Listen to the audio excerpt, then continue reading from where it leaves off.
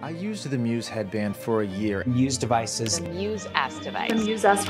Muse S. And I documented the results. A Muse 2 headband. Muse 2. Muse. M-U-S-E. My personal results with this headband blew my mind.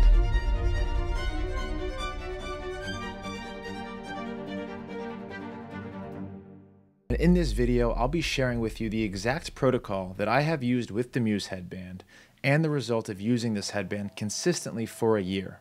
Now, if you're somebody who meditates consistently or you're trying to get into meditation for the first time, then listen up. My name is Jay, I'm an osteopathic medical doctor, and I have been meditating relatively consistently for about four years. And last year, I was introduced to the Muse headband, and my first impression was I don't need some expensive headband to meditate.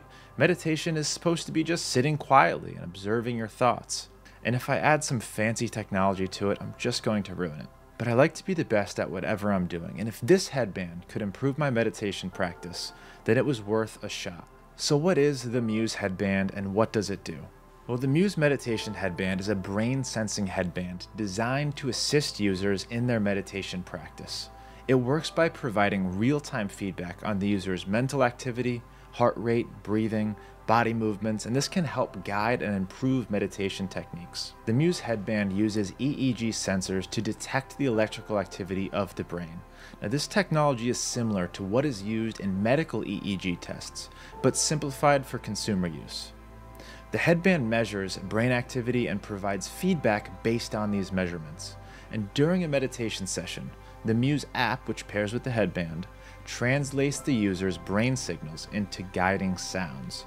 For example, when the mind is calm and focused, the user might hear peaceful weather sounds. But if the mind starts to wander or becomes active, the sounds will change accordingly, signaling the user to refocus. Now, Muse Headband also monitors heart rate, which can be a useful indicator of relaxation levels. And by tracking heart rate variability, the device can give insights into the user's stress levels and overall relaxation state. The headband can also track breathing patterns and body movements, and this helps to understand how physical aspects are linked with mental states during meditation.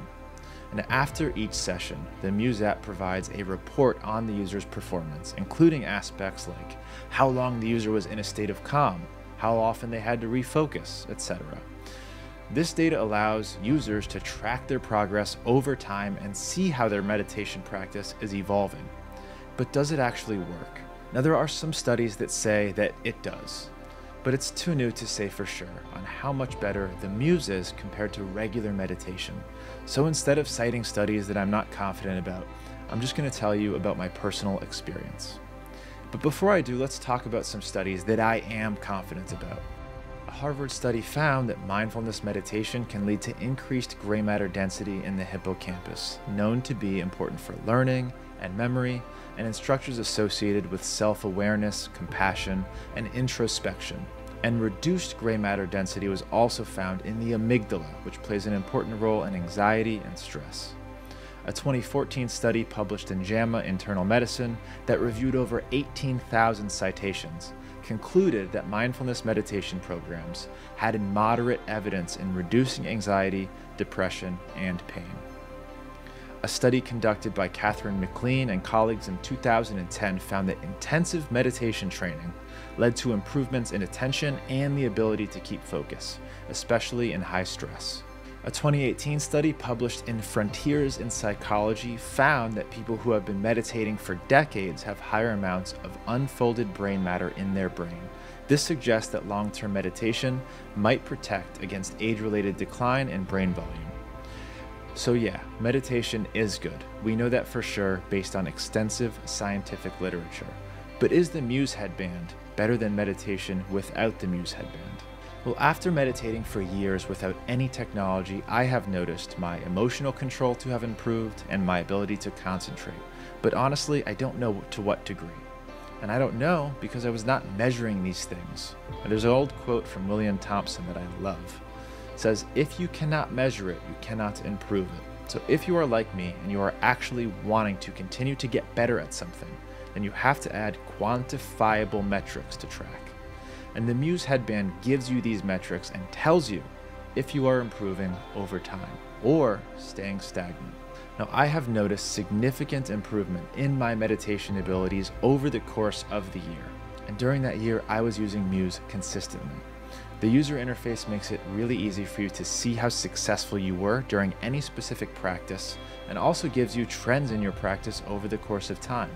This way, when you get done with a session, you can make changes and adapt based on the results. Now, the second reason my Muse has been a game changer for me in my practice is for accountability and enjoyment.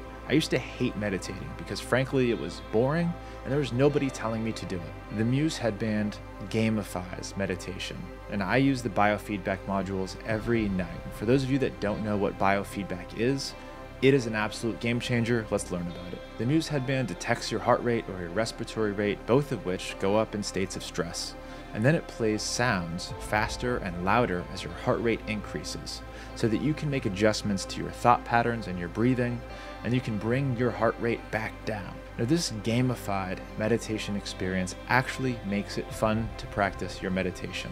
You also tend to learn a lot about your body through these exercises, like this position or this thought pattern causes me stress and causes my heart rate to go up. I also feel accountable to meditate every day so that I can keep up my streaks within the app and I find myself meditating more consistently. So, the golden question is the Muse Meditation headband actually worth it? So, with a price tag of $400 for the Muse S, it might not be right for everybody. If you're just getting started with meditation and you don't have a budget to spend, then you might want to consider starting with a free app like Calm or Headspace but if you're a little more experienced or you're like me and you want to go all in on something because you believe in it, then I think it's a no brainer investment. The Muse gets me to actually meditate when I otherwise wouldn't, and it helps me actually improve my practice. Now, Muse was kind enough to give me a discount code that you can use to save a few bucks on your Muse meditation headband. Now, the coupon code and link to purchase is in the description. I would also love to hear your thoughts now, although Muse is a sponsor and I do have an affiliate link, this is a product that I use every day. I'm only making a video on it because I fully believe in it. But I'd also love to know your experience. Is this something that you're using right now? What do you love about it? What do you hate about it?